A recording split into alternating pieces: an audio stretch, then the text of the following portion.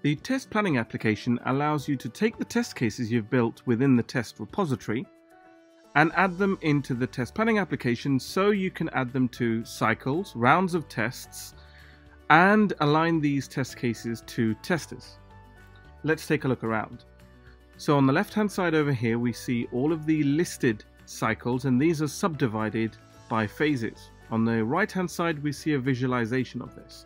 So these are the cycles and these are the phases which contain the test cases. The phases allow test case execution progress to be reported by sub area of testing.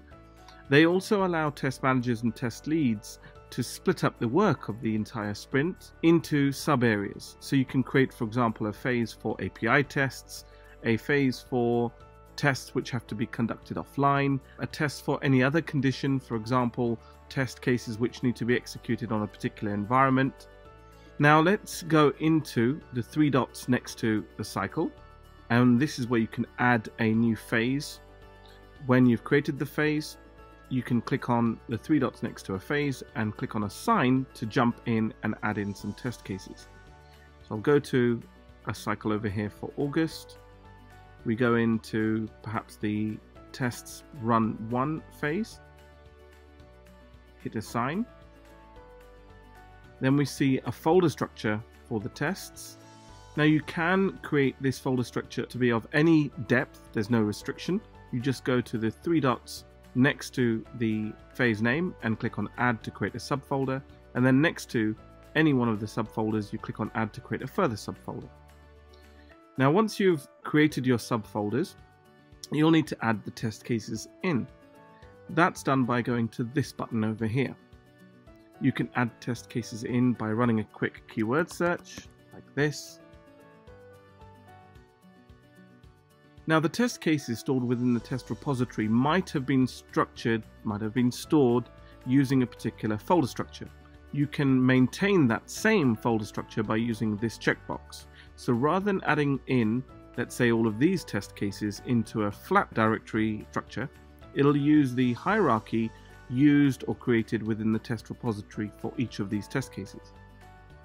As well as doing the quick keyword search, you can also run a ZQL query. So for instance here, we can search for all of the test cases that perhaps come under the regression tag and make this a complex query by building in another condition. For instance, the priority might need to be P1. Don't worry about using these statements again and again. They'll be stored here on the right hand side so you can reference them. You can also browse the test repository, going through your folder structure you've created and picking and choosing test cases. Again, maintaining the same hierarchy from the test repository. You can also use the results of a previous execution. So from the November to March sprint, perhaps we want to know all of the tests from the API run that perhaps failed, so we can re-execute. At the bottom there are some other options.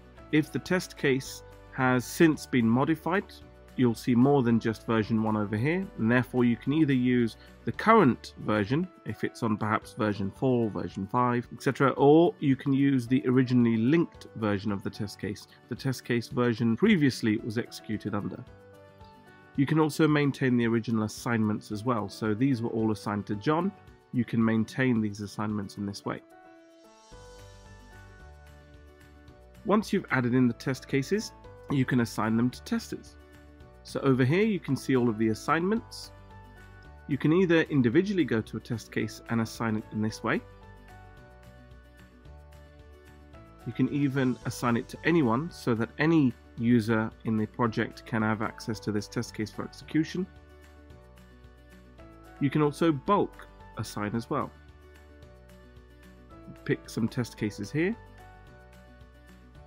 and use the drop down up at the top to assign all of these perhaps to Sam.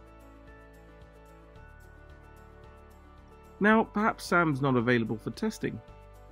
Perhaps Sam has been moved off to another project. For any reason, if you need to bulk reassign, use this button. This way we can take all of the test cases from a particular individual.